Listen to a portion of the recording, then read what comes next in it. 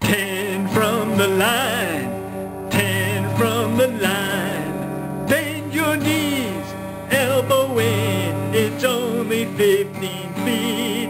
Oh, ten from the line, ten from the line.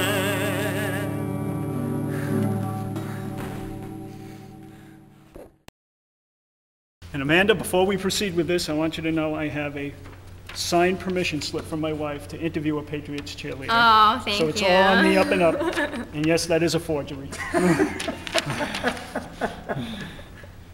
But I do try to eat healthy, but splurge sometimes. I'm a big fan of ice cream, so you could probably catch me at Ben and Jerry's or Friendly's. We just actually got back from our 2012 swimsuit calendar shoot in Aruba. It was a lot of fun. It was a week long playing in the sun, and it was a little bit of work too, but it was fun. I love football. I love the Patriots. Being on the field, you can't beat it. Um, but it's definitely nice to have those extra trips and fun things. All right, these are my awesome basketball skills. oh, for one.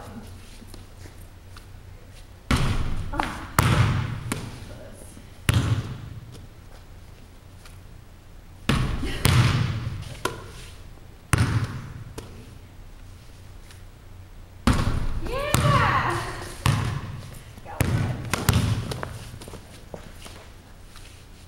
Well, for the Patriots cheerleaders, they do have a three-year rule. So I will be retiring after the Super Bowl this year in February. No, every cheerleader has to re-audition every year, so it doesn't matter if you're a second-year veteran, you still have to try out with everyone else, so all of the spots are open.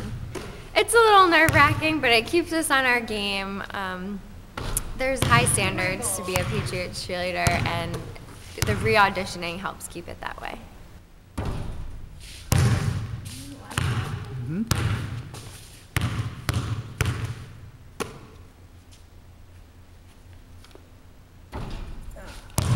Amanda, how does two for 10 work for you? Hey, that was my goal, so I'm pretty happy with it.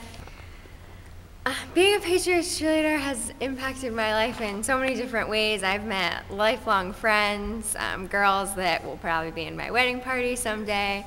I've taken trips to China. I've also been to Afghanistan to visit the troops this past Christmas, which was a life changing experience. I really appreciate everything they do out there, and I have a whole new perspective on things.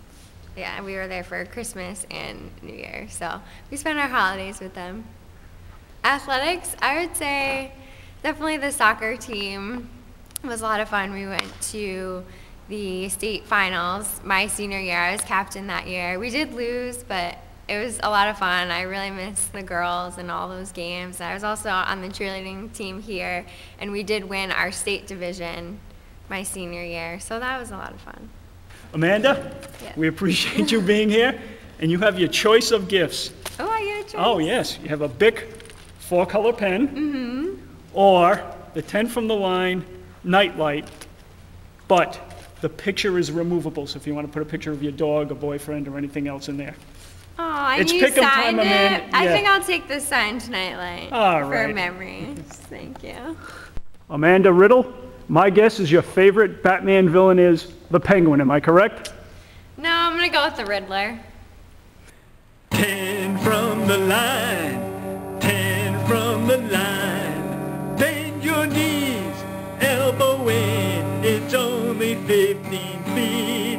Oh, ten the line.